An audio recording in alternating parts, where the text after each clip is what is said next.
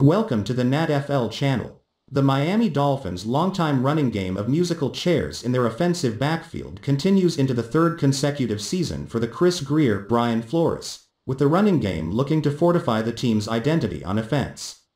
But that identity will only take the Dolphins as far as their backs can carry them in the offensive backfield and the unfortunate reality for Miami is the team's running attack lacked pop in 2020.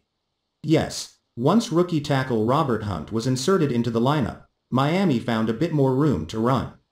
Yes, once Myles Gaskin returned from a knee injury suffered against the Los Angeles Rams midway through the season, the backfield productivity was serviceable. But serviceable isn't exactly what the Dolphins seem to be going for in the running game. Miami wants to be able to dictate the pace of play in the trenches and simultaneously be able to pound the rock when needed to convert third and short opportunities to keep their offense on the field. Miami got very little, if any, of that in 2020. Which is what makes the latest reported agreement for the Dolphins in free agency such a predictable and acceptable move. Reports broke this afternoon that the Dolphins had come to terms with free agent running back Malcolm Brown, previously of the Los Angeles Rams.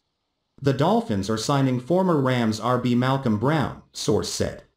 He averaged more than 4 yards per rush in LA, now lands in Miami. Brown, a 5'11", 222-pound hammer, scored five touchdowns for the Rams in 2020 as a rotational back amid a crowded crop of runners, including 2019 third-round pick Darrell Henderson and 2020 second-round pick Cam Akers.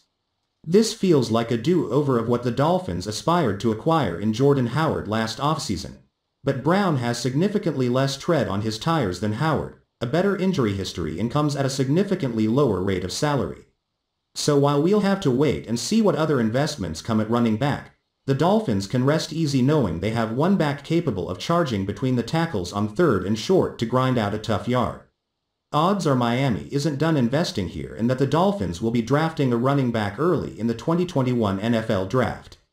The question now is whether the team will attack a player of similar style or rather look for more of a speed dynamic to complement Brown's physicality as a runner.